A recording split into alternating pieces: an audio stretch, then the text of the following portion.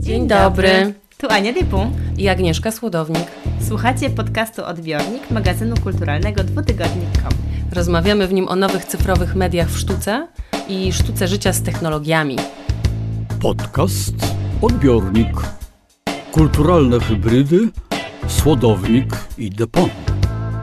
Witamy Was po przerwie. W międzyczasie przeszliśmy z dwutygodnikiem z Filmoteki Narodowej Instytutu Audiowizualnego pod nowe skrzydła Domu Spotkań z Historią, który od teraz jest naszym nowym wydawcą.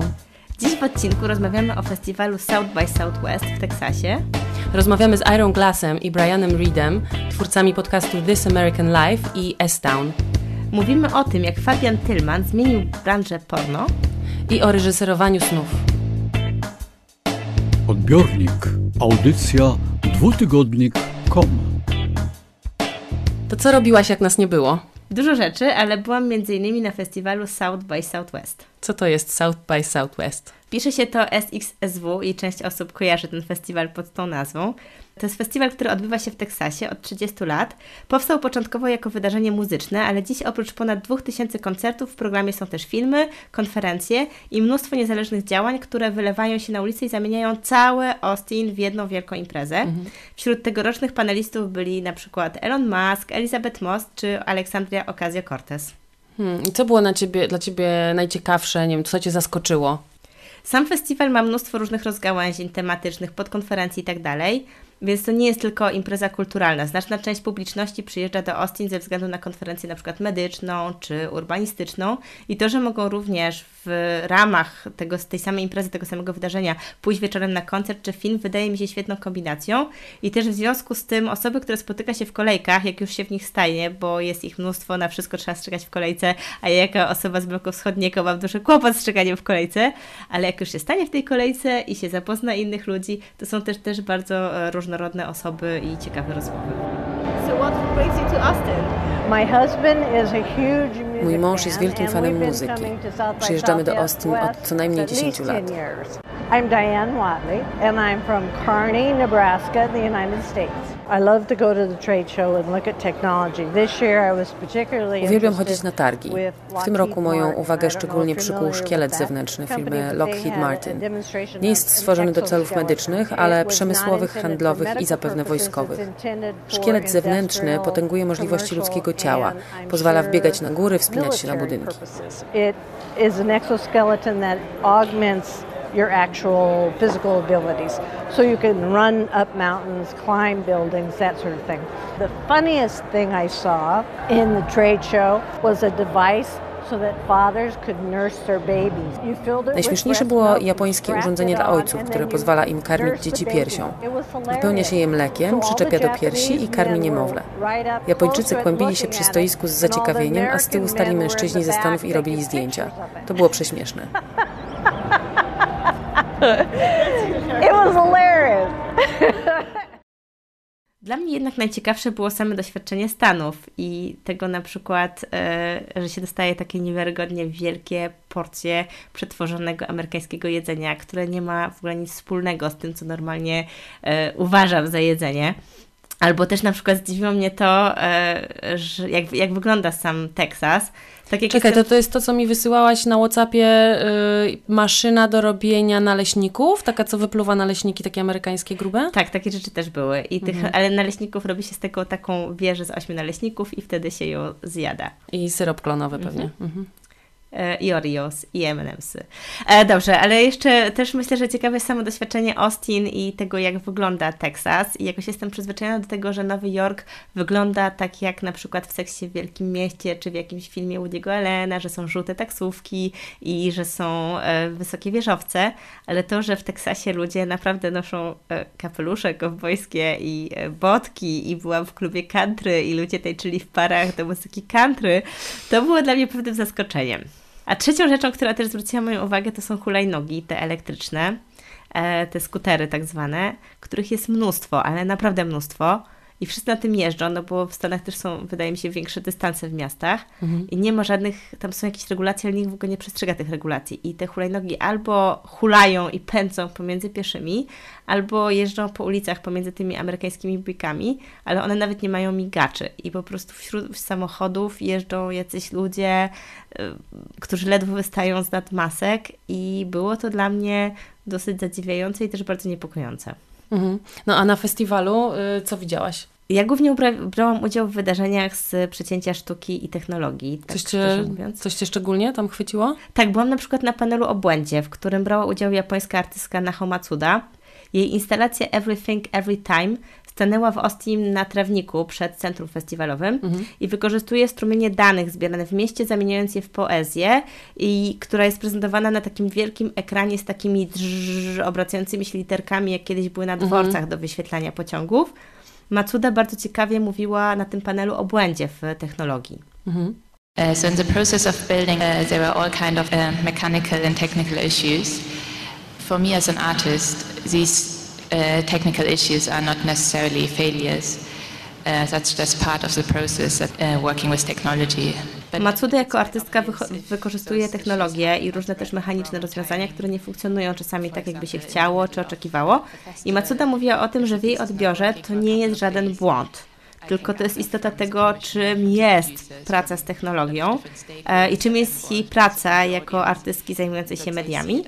Oczywiście może to być frustrujące, jest to całkowicie zrozumiałe dla publiczności czy kuratorów, kiedy, to, kiedy, kiedy coś nie działa w czasie, kiedy jest prezentowane na przykład na festiwalu. Natomiast dla Macudy to jest zupełnie normalna, integralna wartość e, tej materii, z której tworzy i wydało mi się to mhm. bardzo ciekawą myślą. Hmm, masz dla mnie jakiś wiersz z Austin? E, tak. Chwila z poezją.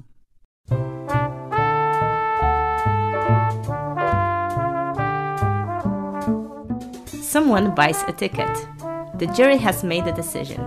The artist prepares and the price of cotton rises. Ktoś kupuje bilet. Jury podjęło decyzję. Artystka się przygotowuje.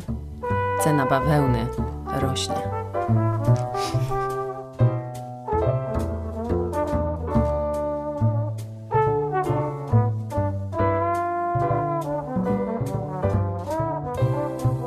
Daj oczom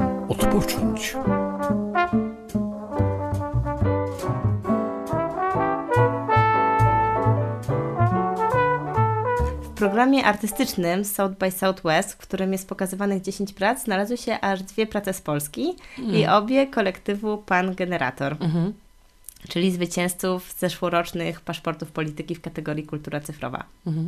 Instalacje Pan-Generatora pojawiły się w Austin dzięki współpracy Instytutu Adama Mickiewicza, Ambasady Rzeczypospolitej w Waszyngtonie, Instytutu Kultury Polskiej w Nowym Jorku, Muzeum Etnograficznego, czyli dużo y, mhm. publicznych instytucji się w to zaangażowało, ale właśnie zresztą ja sama na zaproszenie Instytutu Adama Mickiewicza pojechałam do Austin. Pierwszą pracą jest aparatum, który pozwala bawić się dźwiękami z taśm magnetycznych studia eksperymentalnego Polskiego Radia.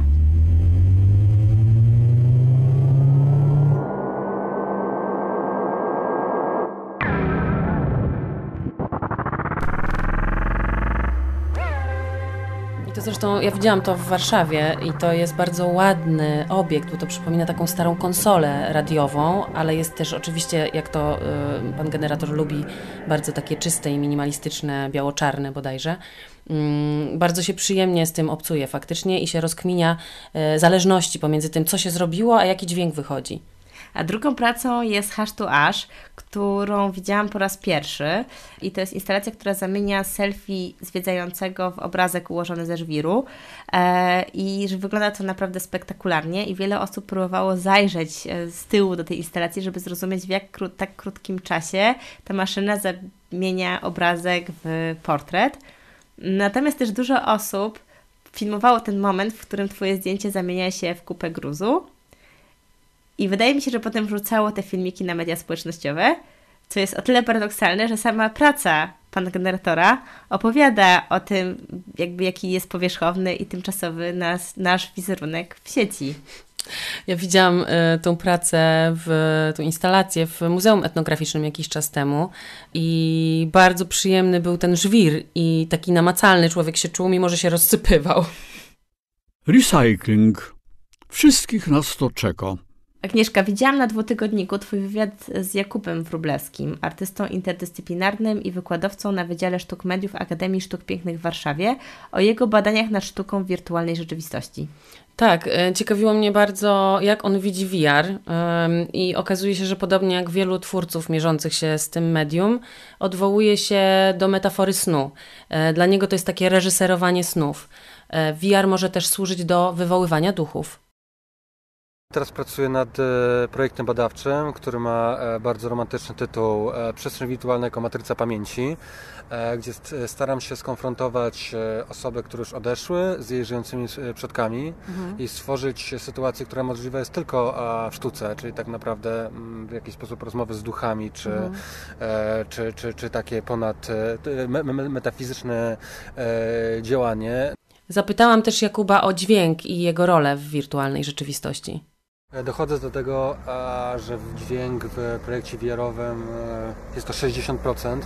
E, teraz w ramach projektu badawczego pracuję nad doświadczeniem e, polegający na konfrontacji dwóch nagrań audio. To są nagrania moich dziadków. Mój jeden dziadek e, mm, e, w, podczas wojny był w obozie e, Auschwitz-Birkenau, e, drugi był w radzieckich łagrach mhm. i e, tak się szczęśliwie złożyło, że mam dobrej jakości nagrania audio, które traktują o wspomnieniach i zbudowałem przestrzeń, którą pamiętam z dzieciństwa, gdzie można przemieszczać się w przestrzeni i samemu odkrywać e, narrację audialną i e, wspomnienia między jedną a drugą osobą się mieszają. Mhm. Więc e, myślę, że bez problemu można zbudować imersyjny, mocny projekt zbudowany tylko na dźwięku. Mhm. Jeśli jest on oczywiście odpowiednio spreparowany, odpowiednio ustawiony i odpowiednio koresponduje z obrazem. Właśnie jadąc do Ciebie myślałem, co na mnie działa i, i jakie projekty imersyjne są dla mnie ciekawe, bo tak naprawdę nie widziałem widziałem projektu VR-owego, czy projektu imersyjnego, który był w 100% dla mnie satysfakcjonujący jako twórcy jako odbiorcy sztuki. Mhm. E, ostatnio widziałem w Antwerpii instalację Edwarda e, Kierholza e, Five Car Stud, mhm. gdzie, było, gdzie była to przestrzeń, zaciemniona przestrzeń, która była dosyć duża i były tam ustawione figury mm, mężczyzn, białych mężczyzn, którzy kastrują ciemnoskórego mężczyznę. E, była, e, instalacja odnosiła się do wolności słowa i sytuacji, które działy się w Stanach Zjednoczonych w latach 60. Można było poruszać się w tej przestrzeni między tymi figurami. Było takie wrażenie freeze frame'u, jakby była zawieszona przestrzeń, w której się poruszałaś i dla mnie to było pięć razy bardziej imersyjne doświadczenie od tego, co mogę zobaczyć w okularach. Mhm. Również, nie wiem, płyta Nicolasa Jara, Space is Only a Noise e, działa na mnie dużo mhm. bardziej. Słyszę nagle dźwięki z tyłu głowy, odwracam się, żeby zobaczyć, co się tam dzieje.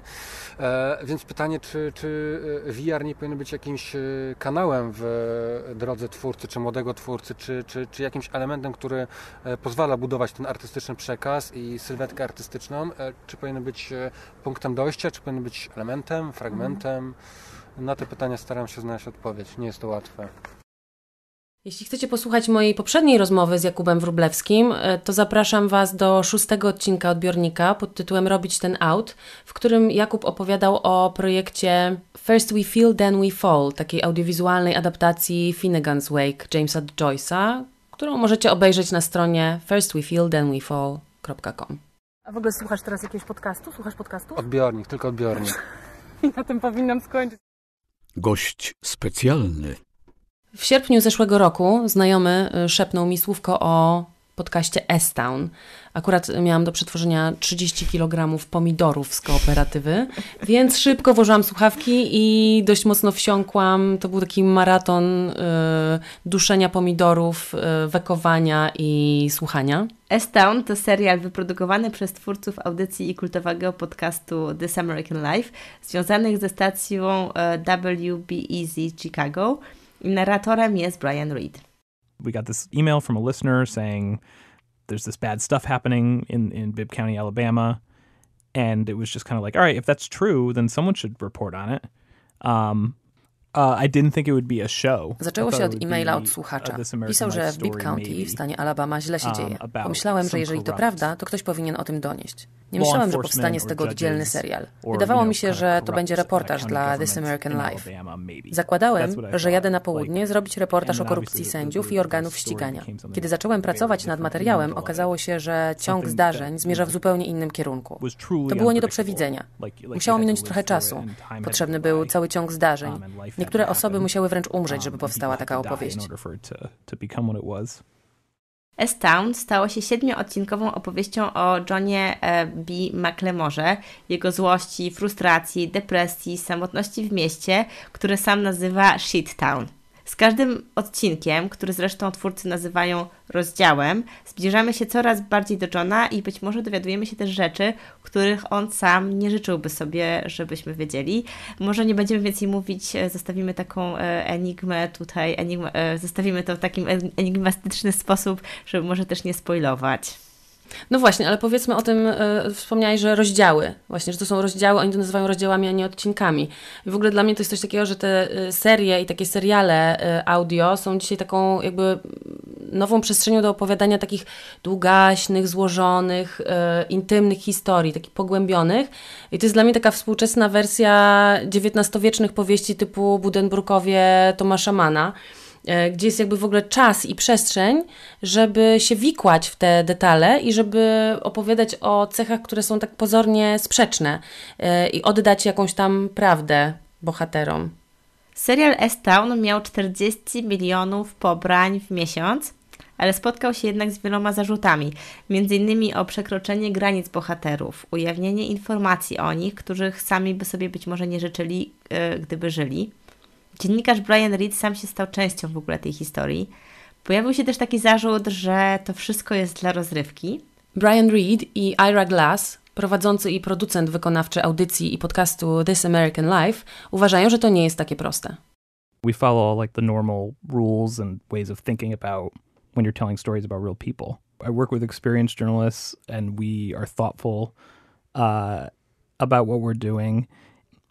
It sounds different Postępujemy zgodnie z przyjętymi zasadami. Pracuję z doświadczonymi dziennikarzami. Wszyscy jesteśmy bardzo uważni w naszej pracy. S-Town wyróżnia się na tle innych podcastów, ale wyrasta z długiej tradycji literatury faktu, dokładnie spisywanych, często osobistych historii o prawdziwych ludziach. Reporter jest nieraz częścią takich historii lub uznaje swoją rolę w niej. Dokładnie tym jest S-Town. Tylko medium jest inne. Podcasty są bardziej intymne i tym różnią się od lektury książek. Um, Ludzie inaczej odbierają te historie. Sam wciąż się tego uczę. book, for instance, and so people um, take it in a little differently, and that's something I think I'm learning. Um, and the idea, like the, this question of is it an entertainment? I, I feel like that question um, annoys me Because it, it implies that, that entertainment means something Zapytałaś się, czy to jest rozrywka. Denerwuje mnie, kiedy ktoś zakłada, że entertainment oznacza coś lekkiego i niepoważnego. Wszystkie trzy podcasty, które produkujemy, This American Life, S-Town i Serial, uważamy za rozrywkę, ale jednocześnie postrzegamy je jako długie formy dziennikarskie. Często jest to dziennikarstwo śledcze. Nie wydaje mi się, żeby była w tym jakakolwiek sprzeczność. Weźmy na przykład Trumana Capote, kiedy pisał z zimną krwią. Ta książka została pomyślana zgodnie z zasadami rozrywki. Ma być emocjonująca, angażować czytelnika. Są w niej wciągający bohaterowie i piękne opisy, ciekawe sceny i uczucia. Wszystko to, co powinno się znaleźć w doskonałej powieści czy filmie. Capote wykorzystuje te narzędzia, ale na dodatek jest to prawdziwa historia. Wychodzimy z tej właśnie tradycji. Mam poczucie, że można jednocześnie opowiadać poważne rzeczy i bawić, angażować ludzi. To nie są sprzeczne kierunki. We are in that tradition. You know, like, you know, you could be serious on the one hand or you can be out to engage people and entertain them on the other. And, and I feel like um, those aren't contradictory things. You can be both things at the same time. Cały mój wywiad z Iron Glassem i Brianem Reedem pod tytułem Dobrze opowiedziany znajdziecie w dziale media na dwutygodnik.com. Tymczasem w numerze. Agnieszka, co się stało? O co chodziło z hashtagiem dwutygodnik zostaje? No właśnie, chwilę nas nie było i dwutygodnika i odbiornika. Może najlepiej opowie o tym Zosia Król, redaktor naczelna dwutygodnika. Zosia, jak Ci minęła zima? To były chyba najdziwniejsze miesiące mojego zawodowego życia. W grudniu okazało się, że dotychczasowy wydawca dwutygodnika, Filmoteka Narodowa Instytut Audiowizualny, wstrzymuje dofinansowanie. Natychmiast zaczęliśmy się rozglądać za innymi możliwościami e, kontynuowania pisma. Rozpad czytelników, e, głosy wsparcia, to wszystko zalało nas taką wielką falą. Wszyscy nas bardzo mocno podtrzymywali w tych czasach i uznaliśmy, że nie możemy tego zrobić czytelnikom i po prostu zniknąć. Przez te miesiące w sieci pojawiał się tak, e, dwutygodnik zostaje. E, I od 1 kwietnia rzeczywiście wiemy już, że tak się stało. Dwutygodnik zostaje u nowego wydawcy w Domu Spotkań z Historią. E, to jest warszawska instytucja samorządowa. Dzięki wsparciu miasta stołecznego Warszawy możemy wrócić do wydawania pisma. Pierwszy numer ukaże się 27 kwietnia. Tego dnia też będziemy obchodzili nasze dziesiąte urodziny w Domu Spotkań z Historią. Słuchaj, na Facebooku, jak już to się wszystko wydarzyło, napisałeś taki post o sile bezwładu i bezradności. E, a jednocześnie jest to taki post o sile redaktora e, tej roli. E, I ten redaktor napisałeś jest duchem poruszycielem.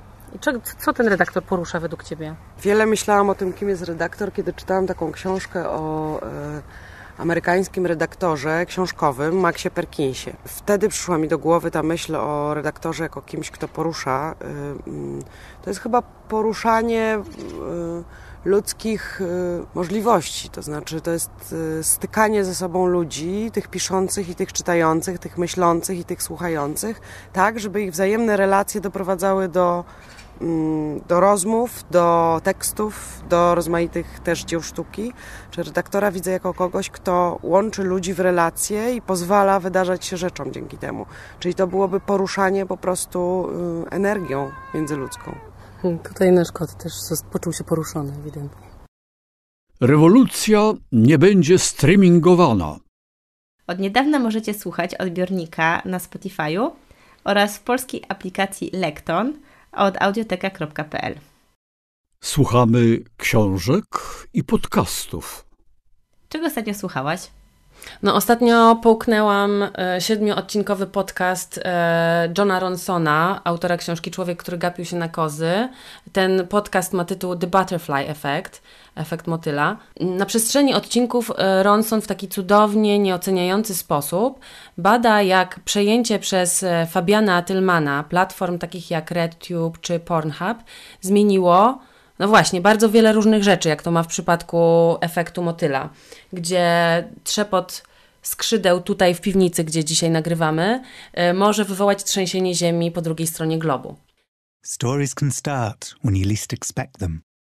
This story started for me when I happened to see a man glance at a woman.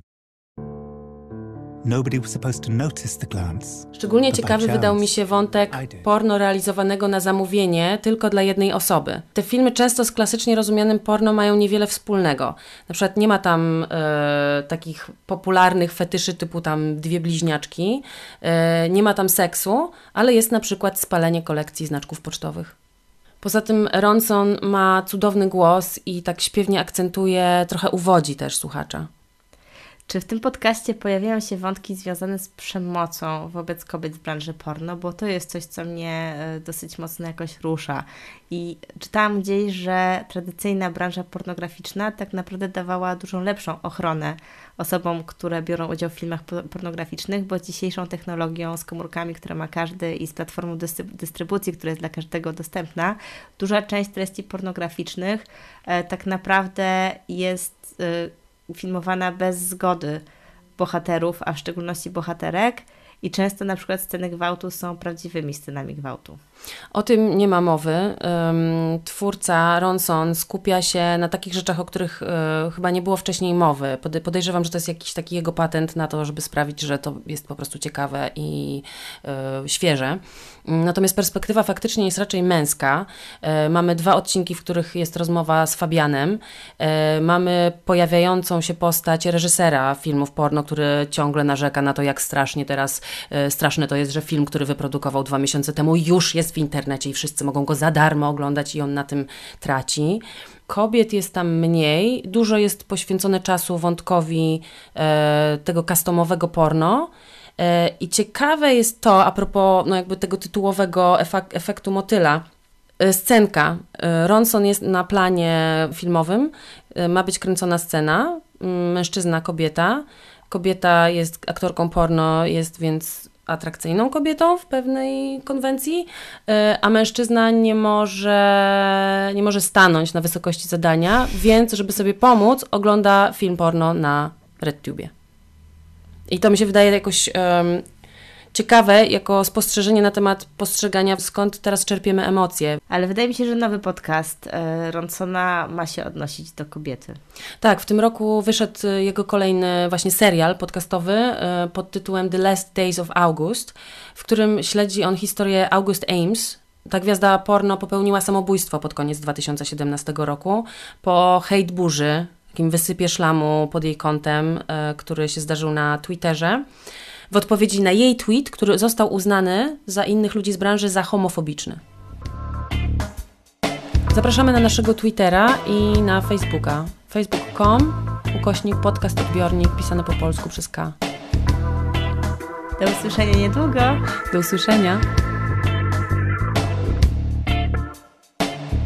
Podcast Odbiornik przygotowały i zrealizowały Anna Depont i Agnieszka Słodownik. Redakcja dwutygodnika to Zofia Król, Paweł Suszyński, Maciej Jakubowie, Jakub Socha, Paulina Wrocławska, Piotr Kowalczyk i Agnieszka Słodownik. Sekretariat redakcji Anna Pajęcka. Wydawca Dom Spotkań z Historią. Podcast na licencji Creative Commons. Można go kopiować i rozpowszechniać w dowolnym miejscu i na wybrany przez siebie sposób oraz remiksować i używać w ramach własnych utworów, także komercyjnych, o ile zaznaczy się autorki i tytuł oryginału. Wykorzystałyśmy utwory autorstwa Kevina MacLeoda ze strony incompetech.com na licencji Creative Commons uznanie autorstwa 3.0.